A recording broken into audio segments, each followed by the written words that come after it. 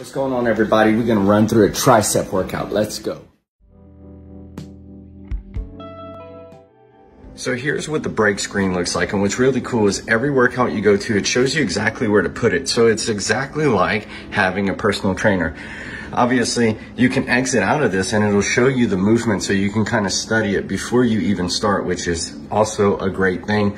You can extend the time. You can skip the time if you need less time. Let's get back. This machine comes with a ring. It looks just like this. And like I was discussing, I'm not using the ring for this because particularly I don't personally need it, but what's really cool is that if you want to increase the weight, you can actually stop the workout, increase or decrease the weight, pop it back on and whatever off the push of a button, which is crazy to me because it is like having a spotter. And remember, when you're doing free weights, you have to jump off the machine, you have to take the weights off, and then you have to put them back on. Right. You have basically three settings. You have a standard setting with the weight, then you have a chain which acts like when you're pushing down like you have chains on the barbells, okay? And then you have an eccentric mode, which means when you push it down, it's gonna fight you up. And then you have a fixed speed mode, which is really cool too.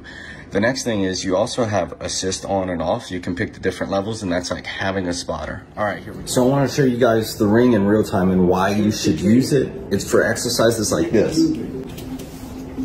when you grab this, right, you don't want all that weight on you. So now I just turn the machine on with the click of the finger, just pull me back. And now I can do the exercise, right? Now, what I really like about the eccentric mode, especially for when you're doing triceps, right, is it's fighting you back up, right? So you're kind of getting, if you would, a workout on both ends, pulling down and then fighting up.